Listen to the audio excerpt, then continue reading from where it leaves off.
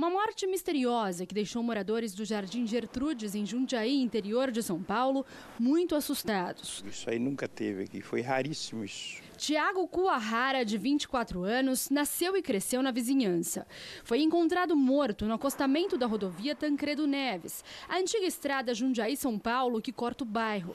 Estava a menos de 100 metros da rua onde ele morava. Trabalhador, de família boa, são excelente povo. O jovem era programador. Naquele dia, depois de sair do trabalho, se encontrou com amigos em um bar da cidade.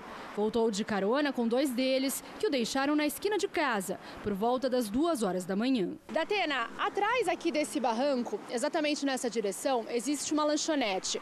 E foi o dono quem encontrou o corpo do Tiago.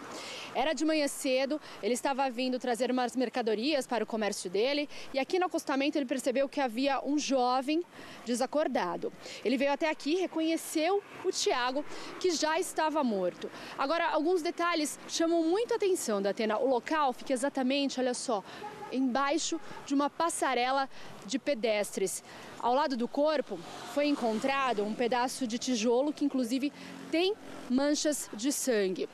E também ao lado dele estava a mochila com todos os pertences do jovem e absolutamente nada foi levado.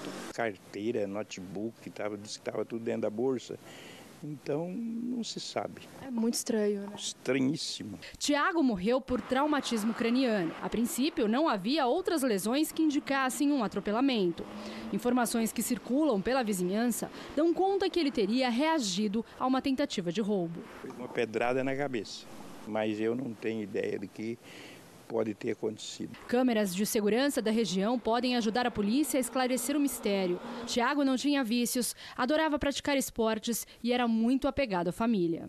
E saber o que aconteceu o mais rápido possível. E